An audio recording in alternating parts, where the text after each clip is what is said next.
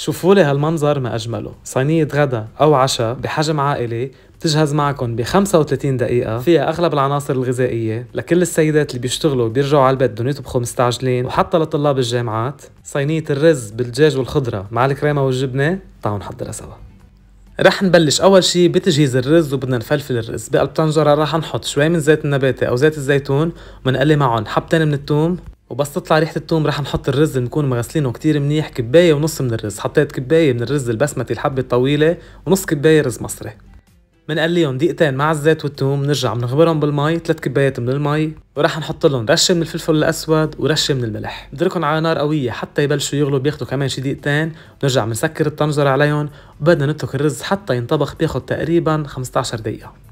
بهذا الوقت رح نحضر الدجاجات وبقلب مقلاية حنحط بقلبها شوي من زيت الزيتون رح نقلي فيها بصلتين كبار وحبتين من الثوم مهروسين بنقليهم لحتى يبلشوا يدبلوا تقريبا شي خمس دقايق ونرجع بنضيف عليهم علبة درة وعلبة فطر بنغسلهم كتير منيح وبنضيفهم وكمان بنرجع بدنا نقلبهم وبدنا نقليهم شي خمس دقايق تانيين حتى كل هالخضرة تتدبل عنا وتبلش بدها تستوي.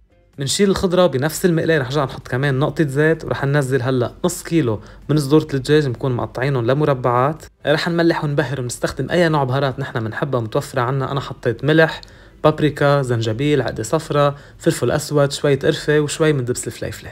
وعلى نار كتير قوية رح نقلل الدجاجات لحتى ينطبخوا عنا ولحتى يستووا عنا بس ما بياخذ تقريبا أكتر من عشر دقايق. بنضلنا عم نقلبهم وبنضلنا عم نقليهم كتير منيح لحتى نحسهم بلشوا يستووا. طبعا ببقوا المي اللي بقلبهم بيرجعوا بينشفوا من المي. بنرجع بننزل الخضرة اللي قليناها أول شي فوقهم وبنقلبهم كلهم سوا كتير منيح.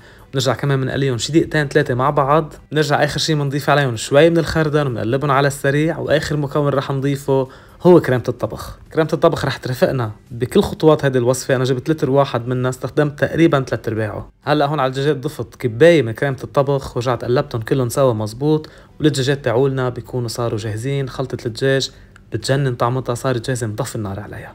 بهذا الوقت نحن كنا بعدنا عم نطبخ الرز وهلأ الرز استوى صار جاهز عنا. شوفوا مع أحلى فلفل. وهالخطوات كلهم اللي حكيناهم المفروض ياخذوا تقريبا 20 22 دقيقة مش أكتر. وهلأ بقلب صينيه الفرن أو بقلب بايركس الفرن بنحط أول شي بكعبه شوي من كريمة الطبخ بنرجع بنفرد الرز كل الرزات اللي فلفلناهم بنفردهم بنرصهم مزبوط بنرجع كمان بنشرب الرز بكريمة الطبخ يعني تقريبا كمان رح نحط شي كبايه من كريمة الطبخ.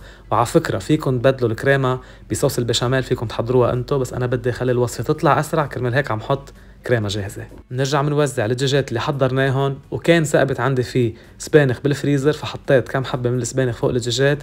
بيعطوا طعم وبيعطوا نكهة كثير طيبة وبنفس الوقت صحيين وفيهم كثير فوائد غذائية. وآخر شيء على الوجه كمان رح نرجع نحط كريمة الطبخ. إذا لاحظتوا بين كل ما خطوة والتانية في كريمة طبخ حتى تطلع الأكلة جوسي ومتشتشة ما بدنا تطلع ناشفة.